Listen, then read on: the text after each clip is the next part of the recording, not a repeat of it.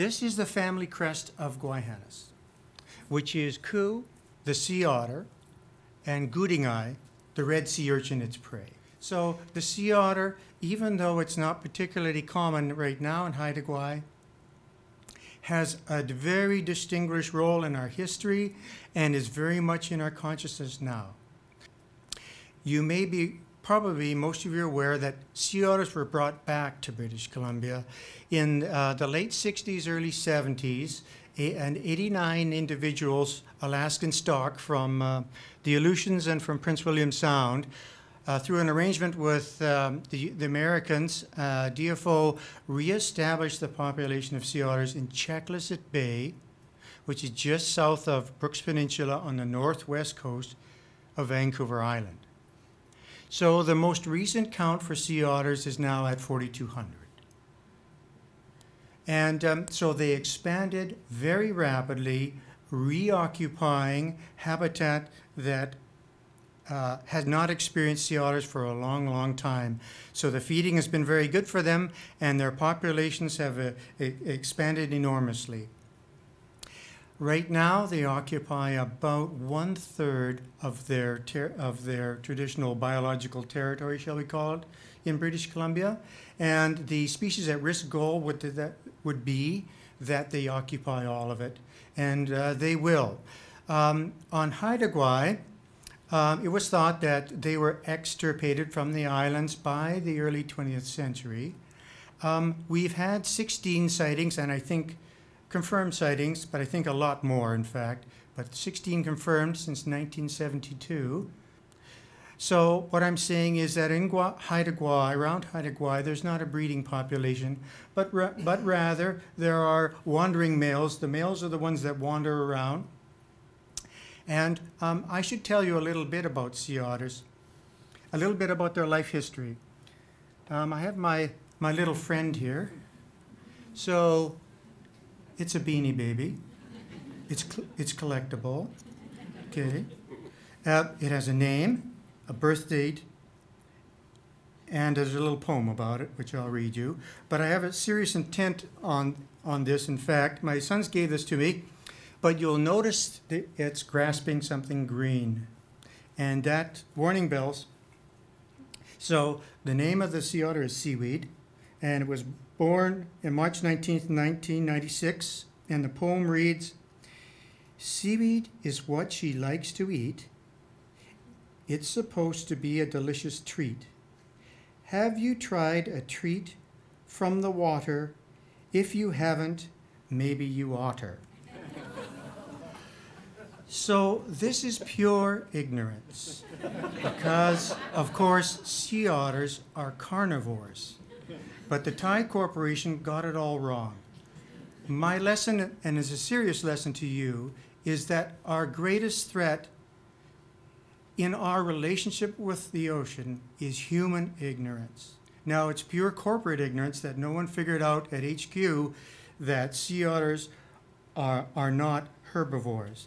But this is very typical of a broad societal problem is that most citizens find the ocean really a mystery, and we have a large popula- proportion of the Canadian population for whom, particularly in the interior of our nation, for whom the ocean is a is an unknowable mystery, and this is actually a serious problem for us because we are very very slow to to evolve towards marine conservation in this nation.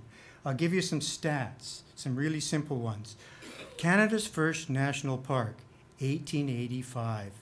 Canada's first national marine park, 1987. That's a century of Canadian history had to pass before we got around to start thinking about protecting the ocean. And we are deep behind the eight ball on this. Terrestrial conservation is inculcated deeply in our culture. We're used to it. We expect it. We have a long tradition of national parks. We have a very brief tradition of federally marine protected areas. Our agency, Parks Canada Agency, did not get its maritime mandate till 2002. And remember, we've been in terrestrial conservation since the 1880s. So that's just an indication to you how slow we've been to come to realize that we need to also think about conserving our maritime heritage besides our terrestrial land heritage.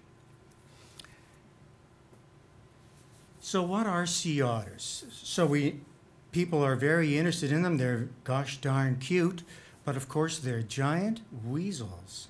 They're the world's largest weasel. They weigh about 45 kilograms. That's a big weasel.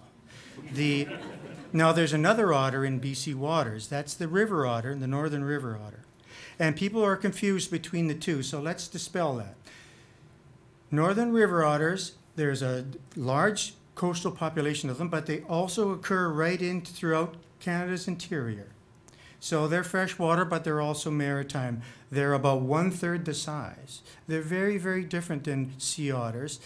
So uh, the main groups of invertebrates that they eat, sea urchins, as in Goodingii, they eat uh, mollusks such as abalone and uh, uh, clams and mussels, and they also eat crustaceans such as crabs. So they eat enormously. Um, they are like, it's, just, it's as if they have a nuclear power plant inside. They eat about a third, between a quarter and a third of their body weight a day. And they, they need to eat all this food to generate metabolic heat because maybe you'll stroke that beautiful fur pelt. They stay warm by uh, constant grooming and they develop uh, in their beautiful fine fur uh, air bubbles. But unlike seals and whales and things, they do not have a rind of blubber underneath their skin. This gives them this incredible appetite, is what really gives them their ecological importance because they are considered a keystone species.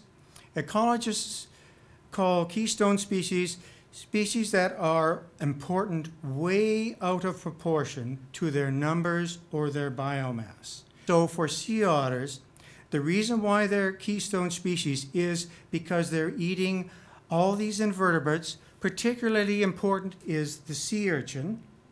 And the reason why that's important is the sea urchin is a grazer of kelp forests. It's a herbivore. And they love sea urchins and eat them in large quantities.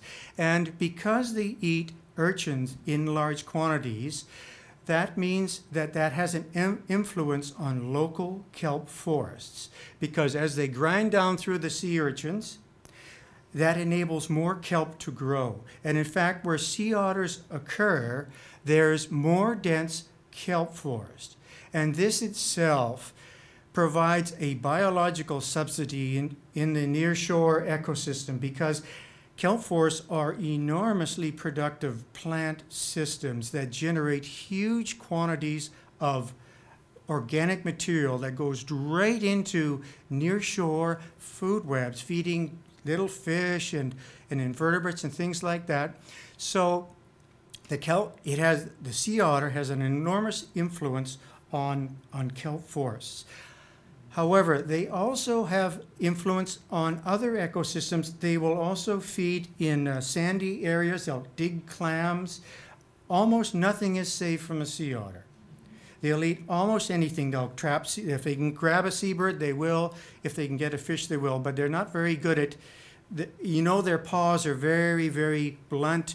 They're not particularly good at, at grabbing rapidly moving creatures, but they can certainly rip uh, mussels off the sea bottom. And as you know, sometimes you may maybe seen them in natural history shows.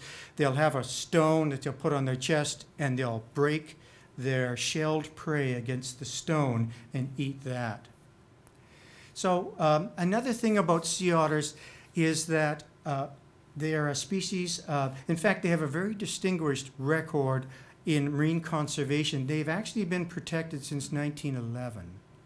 And uh, that agreement which was the world's first multilateral marine conservation agreement, was the Fur Seal Treaty and was signed by Japan, Russia, America, and Great Britain for Canada in 1911. And it was to protect uh, fur seals, which were being slaughtered in enormous numbers, but it had a rider for the protection of sea otters because there was sufficient consciousness even back then that there had been extreme over hunting of these species.